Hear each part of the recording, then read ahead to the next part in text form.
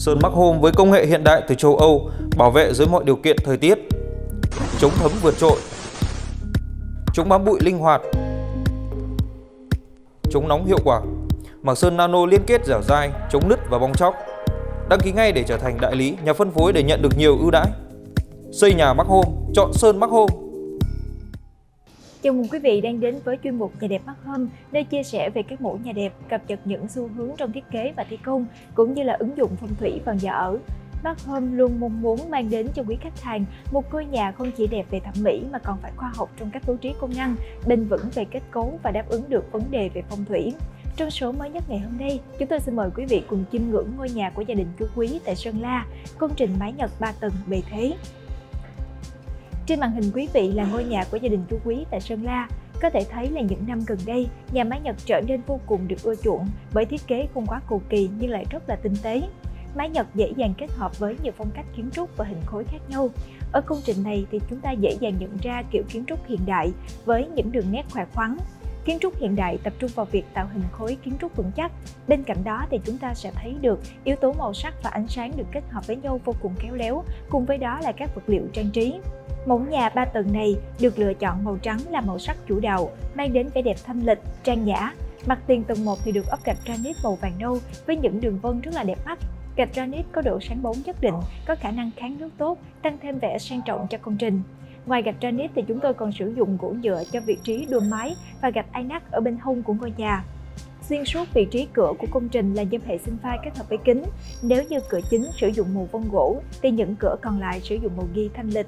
Thiết kế này đã giúp tận dụng triệt để ánh sáng vào ban ngày, mở ra tầm nhìn đẹp và tôn lên vẻ thời thượng cho công trình. Khu vực ban công ở tầng 2 và tầng 3 thì được tập trung thiết kế, mở ra khoảng diện tích rộng rãi, mang đến không gian thông thoáng, cùng với đó là bầu không khí mát mẻ. Thiết kế lan can đơn giản với việc sử dụng kính cường lực, toát lên được vẻ đẹp sang trọng và hiện đại. Và xung quanh công trình thì chúng tôi cũng đã thiết kế rất là nhiều bồn hoa để cả gia đình có thể thỏa sức trồng hoa, cây xanh. Một ngôi nhà đẹp chắc chắn phải là một ngôi nhà mang đến không gian sống tuyệt vời và yếu tố cây hoa thì góp phần rất là lớn mang đến không gian sống lung linh, nhiều sắc màu, có tác dụng rất là tốt trong việc giải tỏa tâm trạng. Còn đây chính là vị trí phía sau và bên hông của công trình. Tất cả diện tường thì được sơn phủ màu trắng, tạo hình có sự tương đồng với các mặt còn lại, đơn giản nhưng rất là chỉnh chu. Cổng của công trình được tạo hình đẹp mắt với chất liệu đó chính là sắt sơn tĩnh điện. Trụ cổng và mái cổng thì được ốp gạch inox cá tính và thu hút. Phần tường rào thì được tập trung thiết kế với những khoảng bê tông kết hợp với sắt sơn tĩnh điện. Và cũng tại vị trí tường rào thì chúng tôi còn thiết kế thêm một bức tranh phù điêu được tạo hình bằng cách đắp nổi xi măng và sơn phủ màu đồng. Tranh phù điêu không chỉ tôn lên vẻ đẳng cấp của công trình mà còn có ý nghĩa về mặt phong thủy, đem đến những may mắn và điều tốt lành. Với diện tích đất thoải mái thì bên ngoài tường rào, chúng tôi cũng đã thiết kế những bồn hoa, một thiết kế khá là quen thuộc ở những công trình châu Âu, tung lên vẻ đẹp cho tổng thể công trình. Ngôi nhà có kích thước chiều ngang là 13m, chiều sâu là 9,7m, diện tích sử dụng của công trình khoảng 276m2. Công trình này không chỉ được đầu tư về ngoại thất mà còn được tập trung thiết kế mang đến cuộc sống khoa học và tiện nghi. Tầng 1 chủ yếu là không gian sinh hoạt chung, trong khi đó tầng 2 chủ yếu là không gian sinh hoạt riêng tư, còn tầng 3 thì chính là nơi thờ tự và không gian phụ. Có thể thấy đây là cách bố trí được xem khá là hợp lý cho một mẫu nhà 3 tầng như thế này. Nếu từ vị trí sảnh chính bước vào trong thì chúng ta sẽ bắt gặp khu vực phòng khách. Căn phòng này có diện tích là 26,7 m2. Phòng khách không những là nơi đón tiếp khách mà còn là nơi dành cho những buổi tụ họp gia đình. Khi thiết kế phòng khách thì chúng ta cần chú ý tạo nên sự sang trọng, thoáng đẳng, phù hợp với phong thủy của gia chủ. Và ngoài việc lựa chọn đồ dùng nội thất một cách phù hợp thì quý vị cũng cần lưu ý đến vấn đề ánh sáng và sự luân chuyển không khí trong ngôi nhà của mình. Khu vực tiếp theo thì chính là phòng bếp ăn có diện tích là 18m2. Bếp ăn được thiết kế tách biệt với phòng khách nhờ vào một hệ lam ở phía sau TV. Thiết kế này mang đến cảm giác thông thoáng, tạo nên sự kết nối tốt giữa các khu vực sinh hoạt chung, mang đến cảm giác liền mạch. Tại khu vực tích hợp này thì chúng tôi đã bố trí vị trí để đặt một bộ bàn ghế, một hệ tủ bếp hình chữ Y. Hệ tủ bếp này thì có ưu điểm khi nó thích hợp với mọi diện tích không gian, dễ dàng tháo lắp. Tầng 1 thì còn có một gara ô tô với diện tích là 22,1 m2, một diện tích tương đối là rộng rãi. Đến ngoài ô tô thì cả gia đình còn có thể để vào đây những phương tiện giao thông còn lại như là xe máy, xe đạp vân vân. Nhà vệ sinh kết hợp với nhà tắm chung thì có diện tích là 4,5 m2. Bên trong khu vực này thì gồm có lavabo, gương soi, toilet. Bên trong vách kính cố định chính là vòi sen tắm đứng. Bây giờ thì chúng ta sẽ cùng nhau di chuyển lên tầng 2 của ngôi nhà. Phòng ngủ số 1 là một phòng ngủ master. Ngoài không gian ngủ nghỉ có diện tích là 14 m2 thì căn phòng này còn có phòng thay đồ rộng 5,2 m2 và nhà vệ sinh kết hợp với nhà tắm khép kín là 3,9 m2. Đối với những phòng ngủ có nhà vệ sinh khép kín bên trong thì chúng ta cần chú ý trong quá trình thiết kế để tránh sản sinh ra mùi hôi khó chịu, tạo nên cảm giác ngột ngạt cho chủ nhân của căn phòng. Để đảm bảo điều này thì nhà vệ sinh khép kín cần phải có quạt hút gió âm trần và ô thoáng để đảm bảo quá trình lưu thông không khí. Tường nhà vệ sinh thì à, nên được ốp gạch để có thể đảm bảo thẩm mỹ, dễ vệ sinh làm sạch, không sợ tường bị vấy bẩn hoang ố, thậm chí là nứt tường do xi măng tiếp xúc nhiều với nước. Phòng ngủ số 2 và phòng ngủ số 3 thì có diện tích lần lượt là 10,7 m2 và 11 m2. Phần diện tích còn lại của tầng 2 là không gian sinh hoạt chung. Phòng sinh hoạt chung thì có diện tích là 13,2 m2, được thiết kế ngay vị trí kết nối với khu vực ban công. Ban công thì cũng có diện tích là 13,2 m2 rất là rộng rãi. Ban công thì sẽ là nơi đón gió và khí trời, đem đến không gian sinh hoạt thoải mái, thư giãn.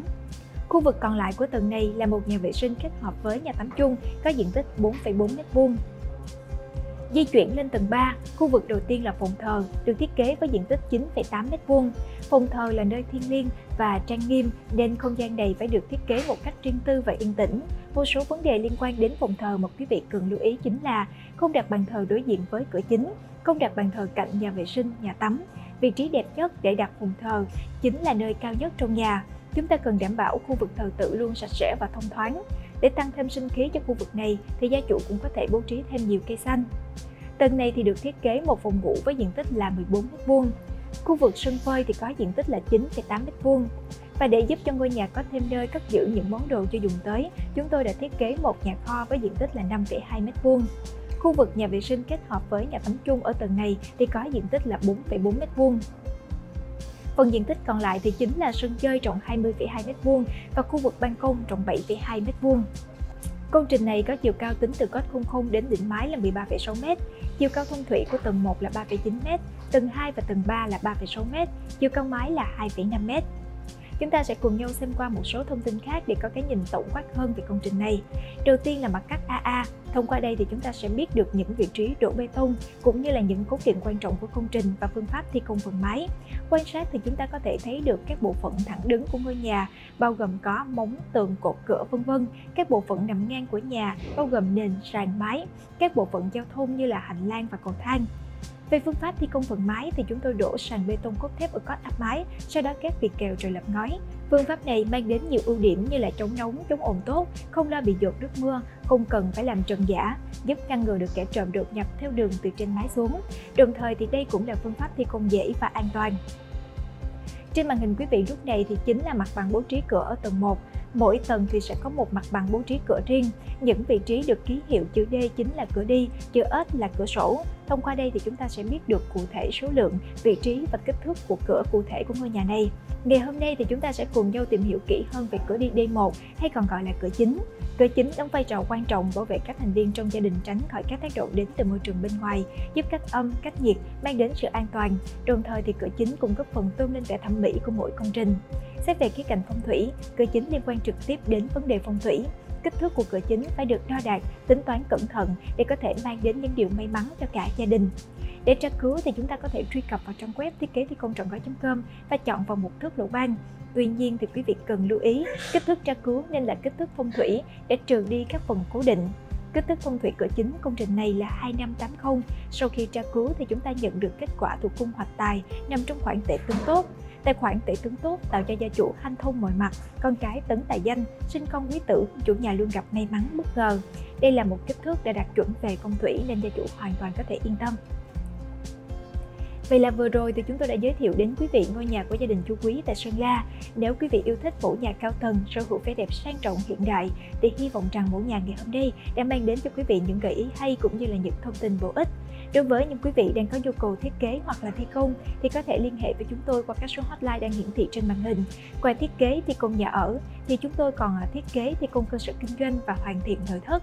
Mọi thắc mắc hoặc là đóng góp, quý vị có thể để lại bình luận bên dưới video này. Hiện tại thì Mắt Home đang có rất là nhiều những chương trình ưu đãi khuyến mại hấp dẫn trong năm nhằm để tri ân quý khách hàng, giảm 10% chi phí thiết kế khi ký hợp đồng online, chiết khấu từ 3 đến 8% giá trị công trình khi ký kết hợp đồng thi công trước 3 tháng dẫn gây xe SH 125i phiên bản năm 2021 cùng nhiều phần quà hấp dẫn lên đến 30 triệu đồng khi ký hợp đồng thi công với Mắt Home, hỗ trợ làm hồ sơ cấp phép xây dựng miễn phí.